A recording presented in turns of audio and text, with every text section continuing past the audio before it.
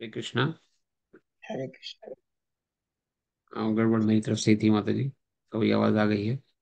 तो क्षेत्र जैसे प्रज्ञा माता जी ने जवाब दिया शरीर को इस बॉडी को क्षेत्र कहा गया है जो कितने तत्वों से बना है? पाँच तत्वों से बनना है प्रभु जी। पाँच पाँच से हम ग्रॉस कहते हैं। और कोई उत्तर?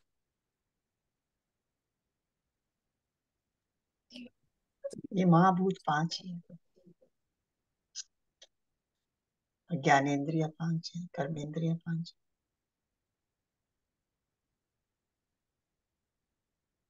तो दस हो गई माता जी।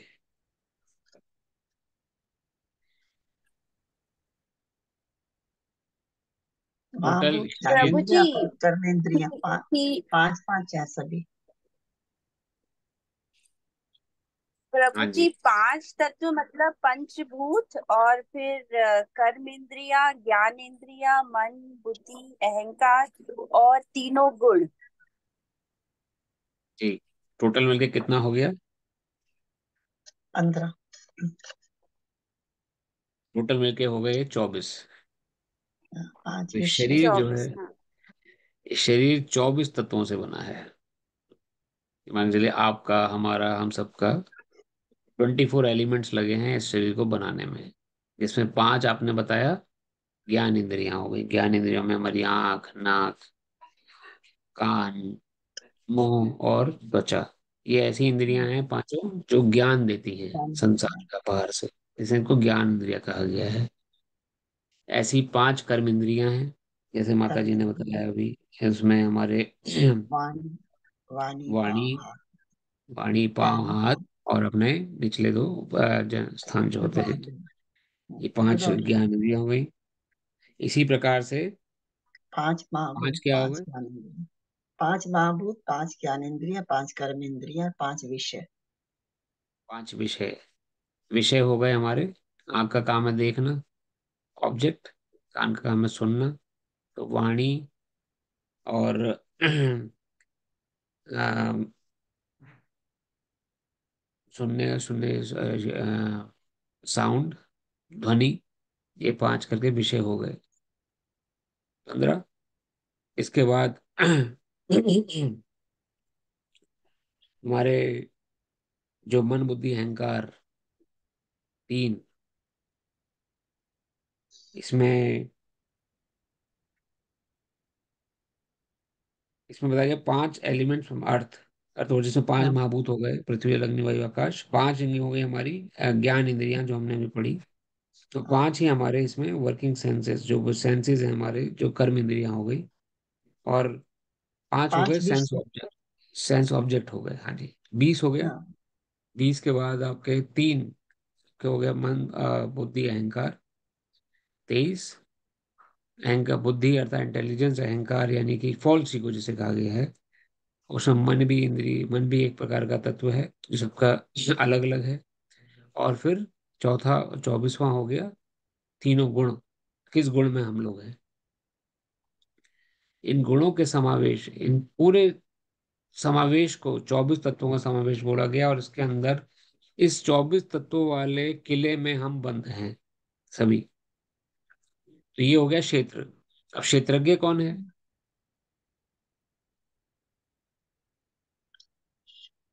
ये हमारे कर्म क्षेत्र के कार्य क्षेत्र हमारा भी है हमारा सोल प्रभु।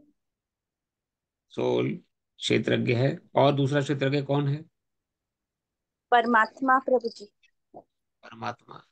क्षेत्रज्ञ किसे क्या कहा गया जैसे कि किसान होता है ना वो अपने खेत के बारे में जानता है। तो किसान का क्षेत्र हो गया खेत और किसान हो गया क्षेत्रज्ञ। उस खेत का मालिक जो खेत के बारे में जानता है। उसी प्रकार से ये शरीर चौबीस तत्वों से बना हुआ एक किला है। इस किले को जानने वाला कहा गया क्षेत्रज्ञ, जो उस किले का पूरा इन एंड आउट जानता है, कहाँ से क्या इसके अंदर चा- चल रहा है। तो दो पर, दो मालिक हैं इसके, एक तो हो गए परमात्मा और एक हो गई जीवात्मा। ये दो मालिक हैं इस इस इस किले के, इन्हें क्षेत्रज्ञ बोला गया। ये भगवान अभी तक क्षेत्र क्षेत्र के बारे में बताया उन्होंने, इसको जानना बहुत ज़रूरी है। और ज्ञान भगवान बता चुके हैं, आठ से लेके बारहवां अध्याय श्लोक जो था, उसमें भगवान ने ज्ञान के बारे में बताया कि ज्ञान किसे कहा गया है। तो वो भी असल में हम सबको जानना बहुत ज़रूरी है, क्योंकि जब तक हम उस ज्ञान रूपी ज्ञान रूपी नॉलेज को हम जब तक एक्वायर नहीं करेंगे, तब तक हमें, हम अज्ञानता में रहेंगे। जो काम करेंगे वो अज्ञानता में रहे, होगा हमारा काम। तो ज्ञान क्या क्या है? ये भगवान ने यहाँ पर बीस जो वर्णन करे यहाँ पर ये ये बीस तत्व जो हैं, ये ज्ञान को सूचक करते हैं। विनम्रता दम्भहीनता अहिंसा, सहिष्णुता, सरलता प्रामाणिक गुरु के पास जाना, पवित्रता, स्थिरता, आत्मसंयम। तो जितने भी बीस गुण हैं, ये ज्ञान के सूचक हैं। अगर ये सब हम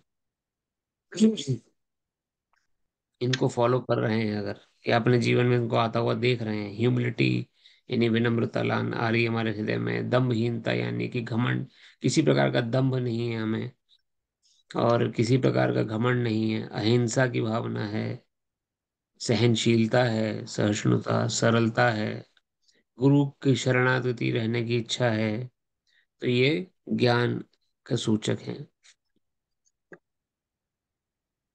और इसको, और फिर भगवान ने तेरहवें हम पढ़ चुके हैं, ज्ञे, ज्ञान तो हो गया, ज्ञान क्या है? और ज्ञे अर्थात जानने वाला, क्या जानने से हमें हमें सर्वोच्च सिद्धि प्राप्त हो जाएगी? ये भगवान ने तेरहवें श्लोक से वर्णना शुरू किया। अब मैं ज्ञे के विषय में बतलाऊँगा तुम नित्य ब्रह्म का स्वादन कर सकोगे। ये ब्रह्म, या आत्मा जो अनादि है और जो मेरे अधीन है, इस भौतिक जगत, इस भौतिक जगत के कार्य कारण के परे स्थित है। उनके हाथ, पाँव, आँखें, सिर, मुँह तथा अनेक कान सर्वत्र हैं। इस प्रकार परमात्मा सभी वस्तुओं में प्राप्त होकर अवस्थित है। तो गे क्या है? जानने योग्य क्या है? परमात्मा और आत्मा का विषय। इसे गे कहा गया है। आत्मा क्या है, कैसे बनी है, किस प्रकार कार्य करती है और परमात्मा कौन है, कैसे कार्य करते हैं, इसको जो जान लेगा, समझ लेगा, उसने समझिए सब कुछ जान लिया, समझ लिया। ये हो गया ज्ञेय के विषय में जानना। तो यहाँ तक हम भगवान बता रहे हैं, अब ज्ञेय यानी परमात्मा के विषय में भगवान ने पहले बताना शुरू किया। परमात्मा के भी जो उनका निराकार ब्रह्म स्वरूप है, उसको जानना। अब लेकिन उसको जान लिया तो उसका मतलब ये नहीं कि आपने परमात्मा को जान लिया। जिस प्रकार से शिला प्रभुपा समझाते हैं, सूर्य का प्रकाश है। सूर्य का प्रकाश को अगर आप स्टडी करेंगे तो ज़रूरी नहीं है कि आपको सूर्य ग्लोब सन ग्लोब जो है, उसके बारे में पूरी जानकारी मिल जाएगी। प्रकाश की जानकारी, प्रकाश है तो भी सूर्य है।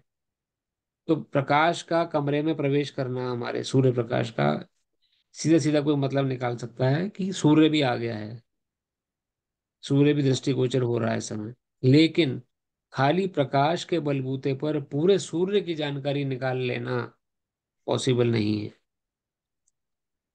सूर्य प्रकाश तो ठंडा होता है, ज़्यादा गर्म नहीं होता, लेकिन सूर्य ग्लोब जो है, पूरा सन, प्लैनेट, वो तो बहुत गर्म है। तो इसलिए परमात्मा के विषय में जानना एक माइन्यूट नॉलेज है। एक जो भगवान के विषय में पूर्ण बताती है कुछ कुछ हद तक, लेकिन संपूर्ण ज्ञान नहीं देगी। संपूर्ण ज्ञान अगर आपको प्राप्त करना है तो सोर्स को पकड़ना पड़ेगा। जैसे किसी भी चीज़ का पूर्ण ज्ञान अगर लेना है तो उसके सोर्स अगर हमें पता है तो हमें पूरा ज्ञान पता है फिर उसके बारे में। उसी प्रकार से जब भगवान के विषय में समझेंगे तो उनके बारे में समझ पूर्ण ज्ञान हमें प्राप्त हो जाएगा। तो आज ए, एक श्लोक हम ले पाएँगे क्योंकि समय थोड़ा सा ऊपर हो गया है और आप सभी को दीपावली पूजन के लिए भी निकलना होगा। तो वही भगवान ज्ञे के विषय में बता रहे हैं। अब मैं ज्ञे के विषय में बतलाऊँगा जिस जानकर तुम नित्य ब्रह्म का साधन कर सकोगे ये ब्रह्मा ब्रह्म या आत्मा जो अनादि है मेरे अधीन है इस भौतिक जगत के कार्य कारण में के परिस्थिति आप देखिए यहाँ भगवान ज्ञे के विषय में बता रहे हैं। कुछ लोग ब्रह्म प्रकाश को ही सब कुछ मान लेते हैं कि यही हमें ब्रह्म प्रकाश, बस यही इसी के अंदर समाहित हो जाना है। एक दिन हम इसी के अंदर समा जाएँगे। लेकिन यहाँ भगवान क्या कह रहे हैं? वो ब्रह्म प्रकाश क्या है? वो ब्रह्म या आत्मा जो अनादि है, मेरे अधीन है। मेरे अधीन मतलब भगवान स्वयं कह रहे हैं कि मैं उससे भी ऊपर हूँ। और इस भौतिक जगत के कार्य कारण के परिस्थित है।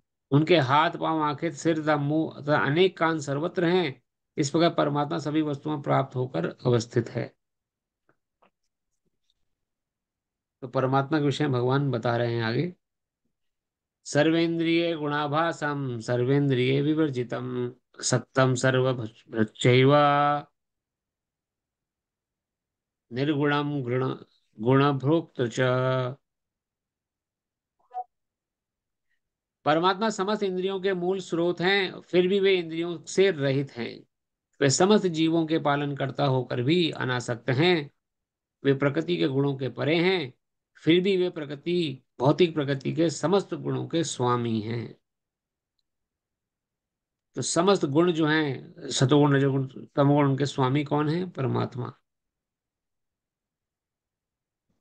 लेकिन फिर भी वो गुणों से ग्रसित नहीं होते। ये कहें कि परमात्मा सतोगुणी है, ये कहना मूर्खता होगी कि परमात्मा को कोई गुण नहीं बाँध सकता। तत्पर शिला प्रपात की जय यद्यपि परमेश्वर समस्त जीवों के इसकी समस्त इंद्रियों के स्रोत हैं, फिर भी जीवों की तरह उनके भौतिक इंद्रियाँ नहीं होती।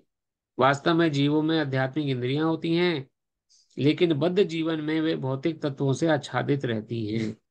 अतएव इंद्रिय कार्यों का प्रकट पदार्थ द्वारा होता है। परमेश्वर की इन इंद्रियों परमेश्वर की इंद्रियाँ इस पर आच्छादित नहीं रहती। उनकी इंद्रियाँ दिव्य होती हैं ते निर्गुण कहलाती हैं। कुछ लोग निर्गुण को निराकार समझ लेते हैं। निराकार नहीं है, निर्गुण अर्थात जो गुणों में ना बांधा जा सके।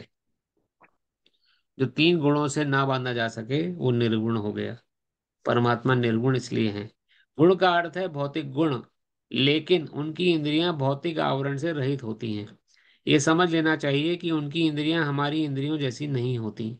यद्यपि वे हमारे समस्त इंद्रिय कार्यों के स्रोत हैं, लेकिन उनकी इंद्रियाँ दिव्य होती हैं, जो कलमश रहित होती हैं।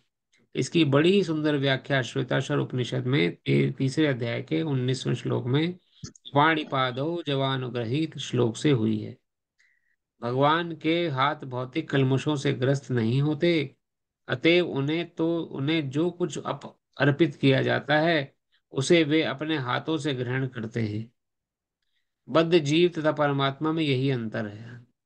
उनके भौतिक नेत्र नहीं होते, फिर भी उनके नेत्र होते हैं अन्यथा वे कैसे देखते, देख सकते? वे सब कुछ देखते हैं, भूत वर्तमान तथा भविष्य। वे वे जीवों के हृदय में वास करते हैं और वे जानते हैं कि भूतकाल में हमने क्या किया और अब क्या कर रहे हैं और भविष्य में क्या होने वाला है। इसकी पुष्टि भगवत गीता में हुई है। वे सब कुछ जानते हैं, किंतु उन्हें कोई नहीं जानता। कहा जाता है कि परमेश्वर के हमारे के हमारे जैसे पाव नहीं हैं, लेकिन वे आकाश में विचरण कर सकते हैं। क्योंकि उनके आध्यात्मिक पाव होते हैं। दूसरे शब्दों में, भगवान निराकार नहीं है। स्पष्ट यहाँ भगवत गीता में उल्लेख आया है, भगवान निराकार नहीं है, उनके अपने नेत्र, पाँव, हाथ सभी कुछ होते हैं, और चूँकि हम सभी परमेश्वर के अंश हैं, अतएव हमारे पास भी ये सारी वस्तुएँ होती हैं। लेकिन उनके हाथ, पाँव, नेत्र अन्य इंद्रियाँ प्रकृति द्वारा कलमशग्रस्त नहीं होती। यही अंतर है। हमारी इंद्रियाँ कलमशग्रस्त हो चुकी हैं। कोई रजोगुणी सोच रहा है, कोई तमोगुणी भाव में सोच रहा है, कोई सतोगुणी भाव में सोच रहा है। तो हमारी इंद्रियाँ उस प्रकार से हैं, जैसे कमरे में एक खिड़की लगी है और उस खिड़की से ही रोशनी आती है अंदर। लेकिन उस खिड़की पे हमने कोई कलर्ड पेपर लगा दिया है। तब जिस कलर का पेपर है, उसी कलर की रोशनी अंदर आएगी। बाकी सारी रोशनी के जो सोर्स हैं, वो अंदर नहीं आएँगे और दूसरे कलर अंदर नहीं आएँगे। इसी प्रकार से हमने जिस प्रकार का राग द्वेष का चश्मा पहना हुआ है, राग द्वेष और चश्मा मतलब जिस प्रकार के हमारे मन के विचार हैं, जैसे हमारे गुण हैं, उसी प्रकार से हमें दुनिया दिखाई देगी। अगर हम छल कपटी स्वभाव के हैं तो हर कोई हमें छल कपटी दिखाई देगा। हमें देखेगा ये भी ये भी चालाक है, ये भी चालाक है, ये भी हमें लूट लेगा, ये भी हमें कहीं का नहीं छोड़ेगा। तो ऐसा सोच सोच के हम लोग हर जीव के प्रति ईर्ष्या भाव रखते हैं। अगर हमारा धन के प्रति बहुत लोभ है तो हर कोई हमें धन लोभी दिखाई देगा। और उसी प्रकार से हम भगवान को भी देखेंगे। अरे बड़ा चढ़ावा चढ़ता है भगवान को मंदिर में। कई लोग बोलते हैं ना, भगवान को बड़ा चढ़ावा चढ़ता है, सोने में भगवान को लाद के रखा हुआ है, इतना सोना है उस मंदिर में। ईर्ष्या होती है, क्योंकि वैसे ही राग द्वेष का चश्मा हमने पहना हुआ है तो हमें ईर्ष्या होगी होगी। जाकी रही भावना जैसी, प्रभु मूरत देखी तिन तैसी। तो इस प्रकार से हमारी इंद्रियाँ कलमशग्रस्त हो सकती हैं, गुणों के आधार पर, लेकिन ईश्वर की इंद्रियाँ कलमशग्रस्त नहीं रहती इसलिए ईश्वर सुहृद सर्वभूता नाम भगवान कहते हैं भगवत गीता में, मैं सभी का सुहृद सुहृद मतलब हितैषी मित्र हूँ।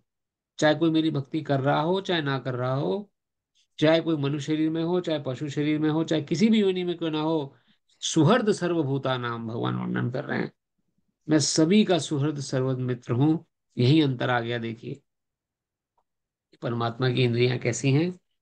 इसलिए वो तीनों गुणों से बंधी नहीं है, इसलिए उनको निर्गुण कहा गया है, या गुणातीत कहा जाता है।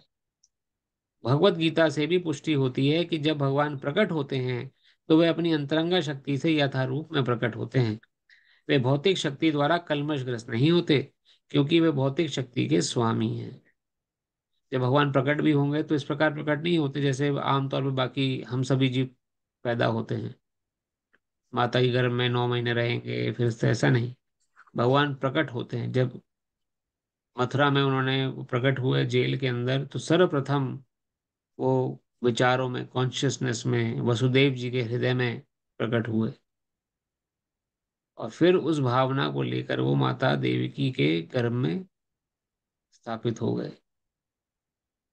और फिर वहीं से ही चतुर्भुज नारायण रूप में प्रकट हुए, फिर से। तब दोनों माता पिता ने प्रार्थना करी, प्रभु, कंस वैसे ही पीछे पड़ा हुआ है, आपके चतुर्भुज देखकर समझ जाएगा कि आप ईश्वर हो और आपको नुकसान पहुँचाने का प्रयास करेगा। हालाँकि कंस क्या कर सकता था? कुछ नहीं, लेकिन माता पिता का भय है। माता पिता तो अपने संतान के प्रति डरते ही हैं, चाहे संतान कितनी शक्तिशाली क्यों ना हो। लेकिन माता पिता का स्वाभाविक भय रहता है अपने बच्चों के प्रति।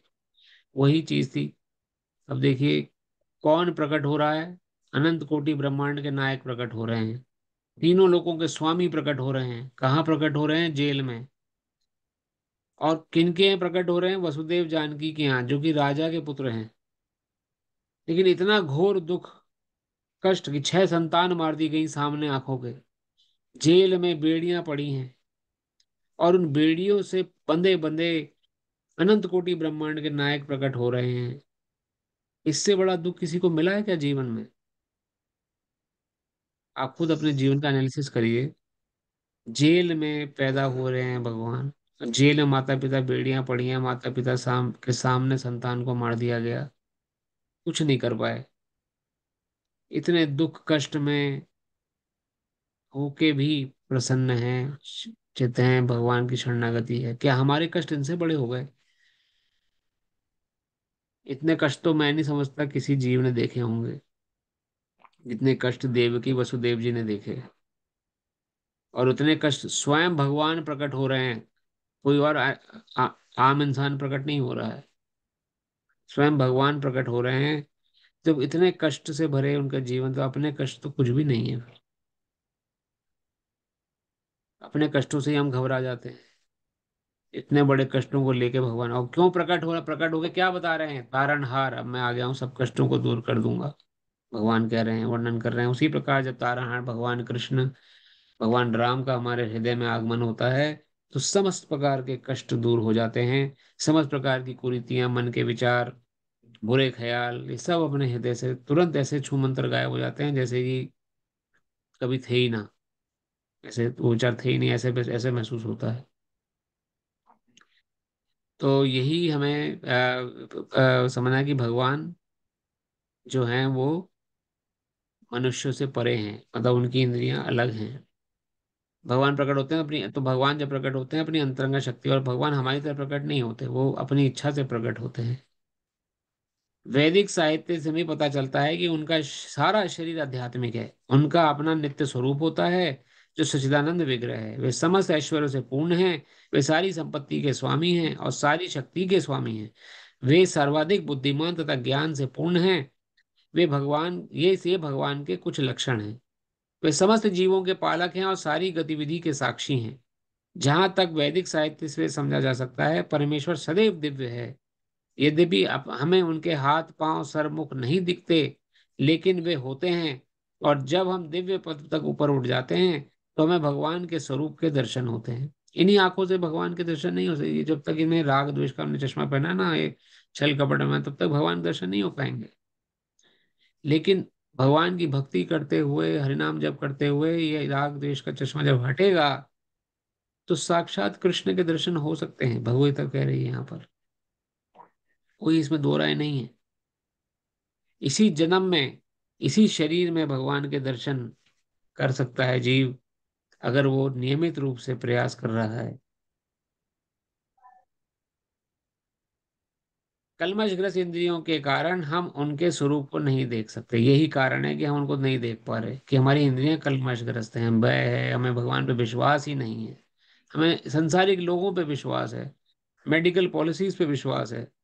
इन सब चीज़ों पे विश्वास है, लेकिन भगवान पे बिल्कुल विश्वास नहीं है। कतई भी कि मेरा अहितवर है, जिस आपने भगवान की शरण ग्रहण कर ली, अब आपका बाल विवाह का कोई नहीं कर सकता। बड़ी बड़ी बीमारियाँ हम देखते हैं, भक्तों को हो जाती हैं, लेकिन पाप कट रहे हैं उनके सुख है उसके बाद तुरंत उनके बाद उनके उनके जीवन में। जैसे कि होता ना कि आ, केस चलता है जब तो रैपिड केस कई बार चलता है भक्तों का। अरे इतने जन्मों के पाप लेके सिर पे घूम रहा है थोड़ा थोड़ा दुख मिले कि एकदम से सारे दुख खत्म करके फटाफट इनको छुटकारा दिलाएँ दुखों से ये स्थिति होती है भक्तों की। तो जीवन में देखेगा भक्तों के बड़ी बड़ी बीमारियाँ लेके घूमते हैं, भक्त कई बार हो जाती हैं, उनका रैपिड केस चल रहा है। तुरंत तुरंत सारे दुर्गतियों का निपटारा किया जा रहा है उनकी। ये वैष्णव मुखारविंद से निकली बातें, हमारे हृदय की बातें नहीं बता रहे हैं आप। आप हमने जो वैष्णव मुखारविंद से बातें सुनी, वो आपको शेयर कर रहे हैं। इसलिए कभी भी हमें हतोत्साहित नहीं होना चाहिए कि हमारे जीवन में कष्ट क्यों आए, भक्ति करते हुए भी कष्ट आ रहे हैं। आपके कष्ट इसलिए आ रहे हैं कि जो कर्म हम करके बैठे हुए हैं, उन कर्मों को दो ऑप्शन हैं, या तो धीरे धीरे करके उतारा जाए तो थोड़े थोड़े कष्ट आएँगे, लेकिन कई जन्म लग जाएँगे। नहीं तो एक बार में तुरंत छुटकारा, फटाफट एक बड़ा सा कोई प्रॉब्लम दे दी भगवान ने। प्रॉब्लम को आपने झेल लिया, निकल गए, पार हो गए। कई गुना, क्विंटलों जो सिन आपके सिर पे चढ़ा हुआ था, वो उसका छुटकारा मिल गया आज। इसे किसी स्थिति में भक्त को हतोत्साहित होने की आवश्यकता नहीं है। भगवान का बच्चे हैं हम सब, जिसके मालिक स्वयं कृष्ण है, अनंत कोटि ब्रह्मांड के नायक है, हमें किस बात का डर है? ऐसे भक्त लोग वर्णन करते हैं तो हमें उनकी भक्ति बातें सुननी चाहिए, समझनी चाहिए। तो यहीं पे ही कारण आ रहा है, कलमश ग्रस्त इंद्रियों के कारण हम उनके स्वरूप को नहीं देख पाते। अतएव निर्विशेषवादी भगवान को नहीं समझ सकते क्योंकि वे भौतिक दृष्टि से प्रभावित होते हैं। वो सोचते हैं, ये आँखें हैं, हमारी आँखें हैं। तो भगवान की आँखें नहीं हो सकती हैं। भगवान की आँखें नहीं है। निर्विशेषवादी अर्थात जो निराकार रूप में भगवान को सब कुछ मानते हैं। भगवान निराकार नहीं है, उनका भी एक स्वरूप है। उनकी भी आँखें हैं, नाक है, कान है, लेकिन वो हमारी भौतिक आँखों की तरह से नहीं है। वो आध्यात्मिक आँखें हैं। आध्यात्मिक उनके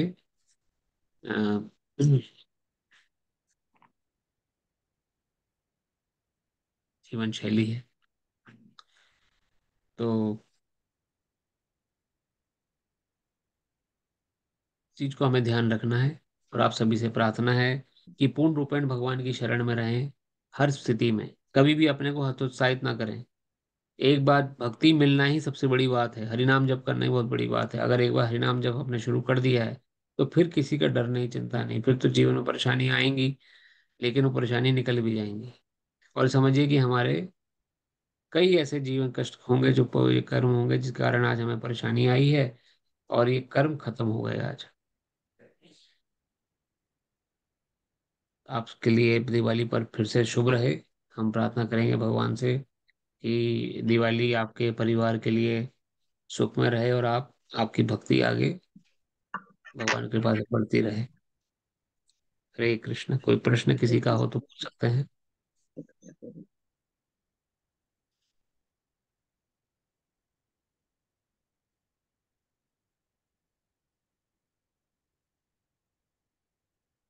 अगर प्रश्न नहीं तो कथा को हम विराम देते हैं और आप सभी प्रयास करिए कि हम अपने मन रूपी, हृदय रूपी अयोध्या में भगवान राम को आज के शुभ दिन पर निवासित कर सकें, बुला सकें और फिर कभी भी इस मंथरा रूपी मन के बहकावे में ना आए कि इनको निकाल दें भगवान को हृदय से या क्योंकि स्थिति फिर केकई जैसी हो जाएगी किस प्रकार जैसे केकई माता ने सोचा ये सुख मिलेगा, वो सुख मिलेगा, लेकिन मिला क्या? भरत महाराज जी की फटकार मिली और भरत महाराज जी से ही जिनके सुख सूर्य था उन्हीं से दूर हो गए। उसी प्रकार भगवान अगर हमारे हृदय से दूर हो गए तो सुख कहीं भी नहीं है फिर। जो कल्पना हम करते हैं सुख मिलेगा भगवान से दूर रहकर वो कल्पना ही है। हरे कृष्ण। हरे कृष्ण। हरे कृष्ण। हरे कृष्ण। हरे कृष्ण।